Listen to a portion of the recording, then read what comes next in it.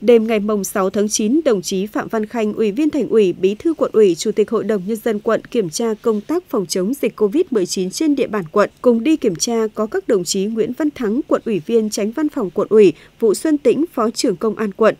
Kiểm tra tại trụ sở Ủy ban dân phường Quán Chữ, đồng chí Bí thư quận ủy, Chủ tịch Hội đồng nhân dân quận Phạm Văn Khanh biểu dương lãnh đạo công chức phường và ban chỉ đạo phòng chống dịch phường đã tích cực tuyên truyền vận động nhân dân đăng ký tiêm vaccine Verocell với 1.104 người. Ngay trong đêm tập trung cập nhật, tổng hợp danh sách những người trên địa bàn phường đăng ký tiêm vaccine theo đúng chỉ đạo của Ủy ban nhân dân thành phố và quận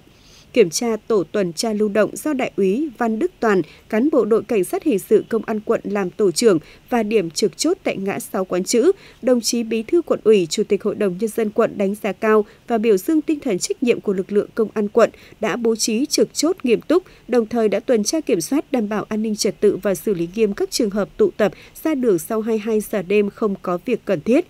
Kiểm tra tại phường Đồng Hòa, đồng chí Bí thư quận ủy đã chỉ đạo đưa đi cách ly tập trung ngay một người từ quận Đống Đa Hà Nội về địa bàn phường và xử lý nghiêm một người ra đường sau 22 giờ đêm không đội mũ bảo hiểm, không có việc cần thiết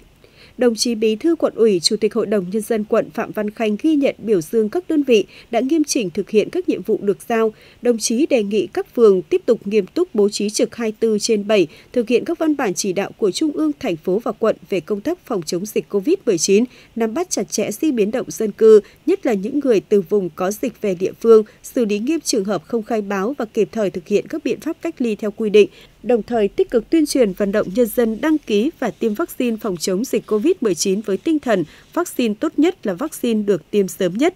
Ngoài ra, lực lượng công an quận và các phường tiếp tục tăng cường trực chốt tuần tra kiểm soát, đảm bảo an ninh trật tự an toàn cho nhân dân, xử lý nghiêm các trường hợp không chấp hành các quy định về phòng chống dịch COVID-19.